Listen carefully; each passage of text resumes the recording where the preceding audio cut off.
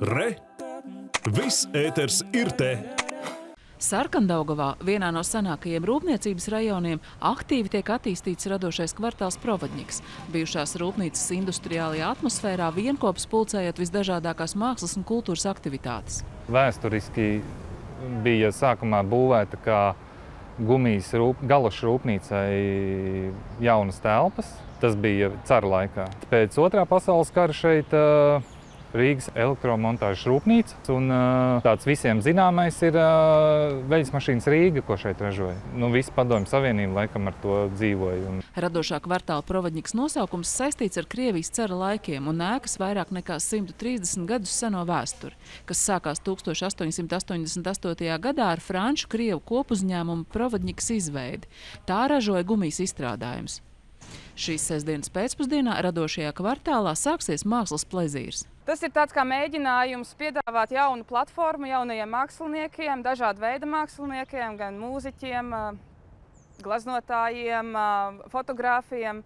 Nu, parādīt to, ka šajās telpās un arī ārā teritorijā tu vari savu mākslu izrādīt vai arī radīt uz vietas. Tas tulkojums, provadņiks, es esmu izlasījis, ka Latvijas tas ir pavadonis. Tu, ka provadnieks varētu pavadīt sabiedrībā vai arī pavadīt jauna darba radīšanā. Būs apskatāmas izstādes. Viena no šīm uh, būs uh, Bārbas Abelītes izstāde. Un tad būs vēl divas izstādes, viena fotoizstāde par darbiem, kas tapuši Provadņikā. Tāpat būs arī dzējas lasījumi un būs arī mūzika ārtelpā uz brīvdabas skatuves. Mākslas plezīra laikā būs aplūkojama Madaras Bodnieces izstāde gleznas telpā. Es sākumā atnācu paskatīties arī šo rūpnīcu, kā te viss izskatās.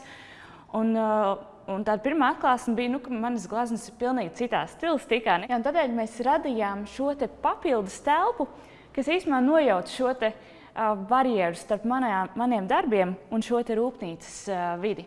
Arhitektūras elements miksē ar saviem fantāziju elementiem, ar, man patīk mainīt proporcijas, kaut ko, kas reālajā vidē ir mazs, teiksim, visādi rokoko un baroka mazie dekoriņi. Es viņus uztaisu lielus, nojaucu proporciju. Man, man patīk šādas te spēles. Iesaistot visu ģimeni un bērnus, mākslas plezīru notikumos ar galda spēlēm un galvu laužiem piedalīsies viena no pirmajiem šīs ēkas nomniekiem – ģimenes uzņēmums koka rotaļlietu ražotāji. Šajā mājā esmu ievācies vietā, kurā es lepojoties saku, kurā sākās pasaules kosmoloģija.